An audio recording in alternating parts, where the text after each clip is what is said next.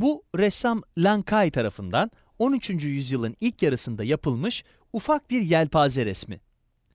Şu an bir albüm sayfasına takılı olarak duruyor.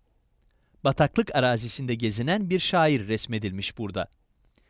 Irmağın karşı yakasında küçük bir toprak set görünüyor.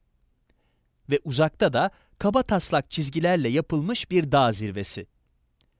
Resmin açık renkli, hafif bir kompozisyonu var. Buradaki ana fikir oldukça sıradan gibi görünse de konu çok olağan dışı bir biçimde işleniyor. O dönemde yapılan birçok resimde boş alanlar vardır.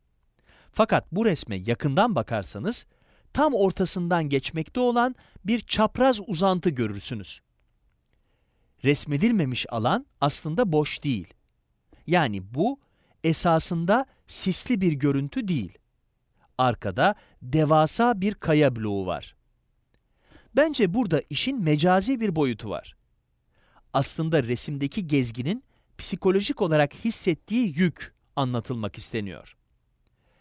Resimdeki gibi bir kurgu genellikle şair Çiye ile özdeşleştiriliyor.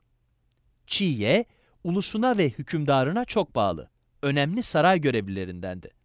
Fakat bir iftira yüzünden sürgün edildi ve sadakatini göstermek için ırmakta boğularak intihar etti.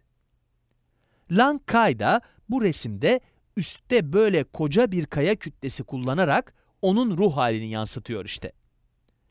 Lang Kai belki şaire yakınlık hissetmiş olabilir. O da aslında sarayın ressamlarındandı. Fakat bir gün bir şey oldu. Saraydaki itibarlı görevinden ayrıldı ve bir Budist manastırına yerleşti.